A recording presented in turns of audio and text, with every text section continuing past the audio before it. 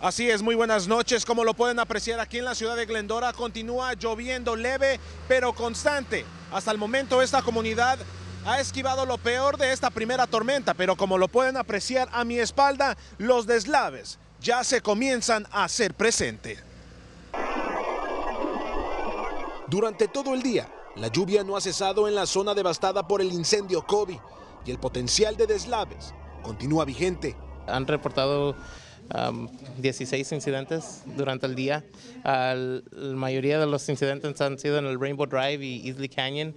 Aquí sobre esta calle se han registrado deslaves menores. Sin embargo, más de 8 mil residentes del área se les ha pedido evacuar sus hogares voluntariamente. ha estado lloviendo, ah, están diciendo que como cuarto de pulgada por hora, que es es un porcentaje bueno. si sube a más de medio pulgada es cuando estamos preocupados. Y según el Centro Nacional Meteorológico, esas condiciones pudieran registrarse con la segunda ola de tormentas que se pronostica para mañana. Ya está establecido un centro de evacuación en el 241 de la calle Dawson. Sin embargo, nadie ha hecho uso de él, dijo el abogado de la ciudad.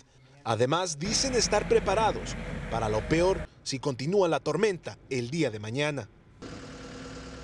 Protección Civil estará monitoreando de cerca estas condiciones climatológicas durante la noche para que de ser necesario evacuar a más de 8 mil residentes que aún siguen en esta área, ellos lo puedan hacer de inmediato.